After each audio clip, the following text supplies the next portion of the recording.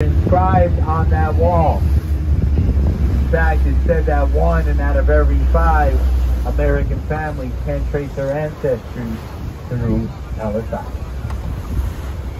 Many of those people that passed through uh, either trying to leave behind their identities from their country of origin and wanting to acclimate to American culture, willingly change their names, some of them on accident.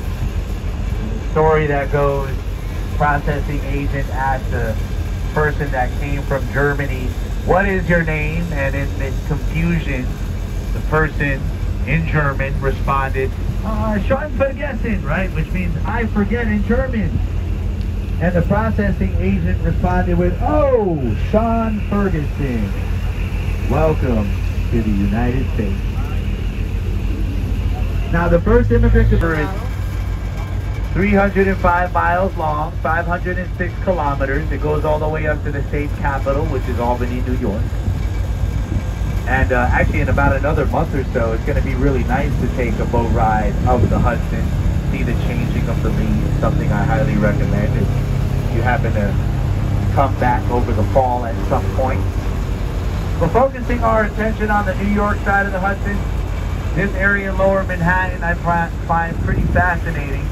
It's called Battery Park City. That's where the Twin Towers were and it's now where the reflective pools are located that were designed for the area to drown out the chaos of the city, thus creating a tranquil, serene environment to remember 2,983 lives that were lost on September 11, 2001. And well, if you did have plans to visit the World Trade Center, the next stop, Battery Park, is the closest stop we have in proximity to the area. A fairly direct walk, and walking would be the best way to get there. What you're going to want to do is you're going to want to exit the boat once you make a left. That is going to lead you towards West Street, which is essentially just on the other side of the